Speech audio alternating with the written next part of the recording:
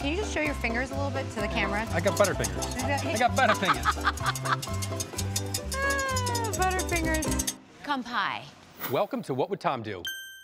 Presented by Metro. So, Tom, for this challenge, the chefs took a flavor trip to the Far East. Chefs, to celebrate the Summer Tokyo Games and Japanese tradition, each of you will be responsible for one dish in a six-course progressive kaiseki meal. We all went to the Los Angeles Memorial Coliseum. The cheftestants cooked us a six-course kaiseki meal, which is all about seasonality, mm-hmm. incredible produce, and letting ingredients be in balance and in harmony. This is a kaiseki challenge. What would so, so here's the deal. I've been to Japan a couple times. I, I love Japanese food, but I'm not a Japanese chef. So I take those Japanese ingredients and use them the way I would cook. That's kind of what I'm doing here. So today we're making king crab and uni. I've done a version of this crab and uni dish for probably 20 years now. So this is king crab because, you know, kaiseki, it's all about these great ingredients. There's nothing better to me than king crab, or crab in general. Mm-hmm. So first, let's make a base for the crab. This is a little bit of white miso, butter, a little bit of lime. Okay. Turn that on. Okay. What's the pinch of? Tiny touch of curry powder. Oh. Tiny.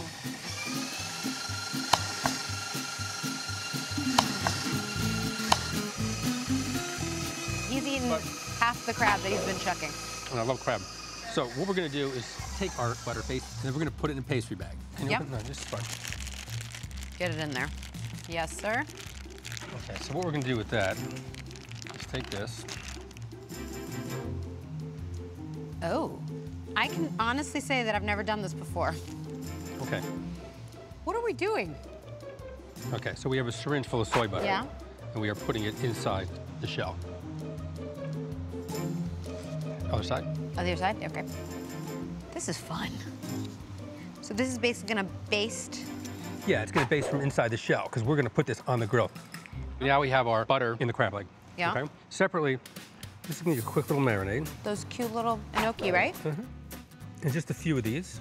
A little lime juice, a little bit of the white soy. So shoyu in Japanese. I'll show you. I'll show you. You'll show me? I'll show you. And then a tiny bit of sesame oil.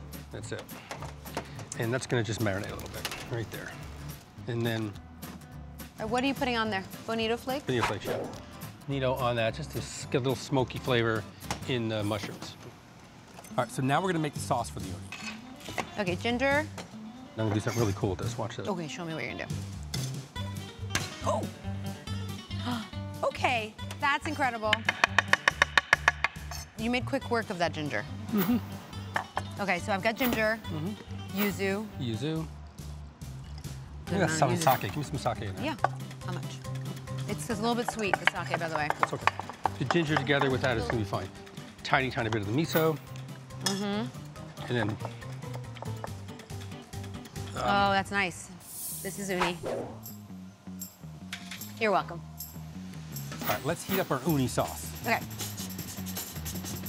What's the reason why you're putting the butter in piece by piece? If you put it in too much at in one time, the butter's cold, Uh-huh. it'll drop the temperature, then the sauce will break.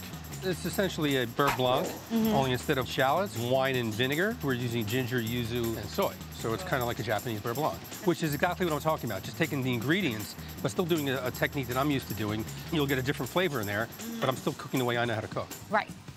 Now we're gonna poach the uni in the butter sauce. Oh, look at how pretty that is. Those little lobes of uni floating in their butter bath. Do you like that? Was it lyrical? Yeah, that, that was beautiful. Okay. Oh, we have binchotan We have binchotan over there. We're gonna grill a crab on that. The crab's gonna go, right onto the binchotan.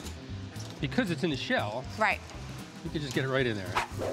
So what we have going on here now is the butter's coming out. It's all starting to steam in there nicely. Nice and smoky. Oh. Mmm. Oh, hi. Tom, what makes kaiseki so special? It was based on a, tea ceremony. Mm. The food is very seasonal, and also the plates are seasonal. And some of the flowers and things like that that are part of the season, mm. they're used as garnish. but it's- mm-hmm. They want to bring nature into the dish. A little bit of Mizuna, mm-hmm. and then we're going to just do one of these mustards. And then a tiny drop of this chili oil. That's two. One. That's it. Okay, that's very beautiful. I don't know if you can say kampai with food, but The acid on the mushrooms? Mm-hmm. And the butter, it's thin. Yeah. It's not some thick, heavy butter sauce. No. Nothing's aggressive. And that's part of kaiseki too, is nothing should be really aggressive. It should be balanced. Wow. Tom, And that's how I make Japanese food. That's what I would do. I feel like you may have a future with this cooking thing. Kampai. Oh my gosh, you. You. That's that. Mm. Okay, that was epic. That was amazing.